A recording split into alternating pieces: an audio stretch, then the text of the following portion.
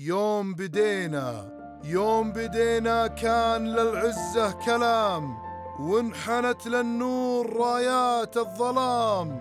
وابتدى للعلم ميلاد جديد وابتدى صرح عليه اسمه الإمام.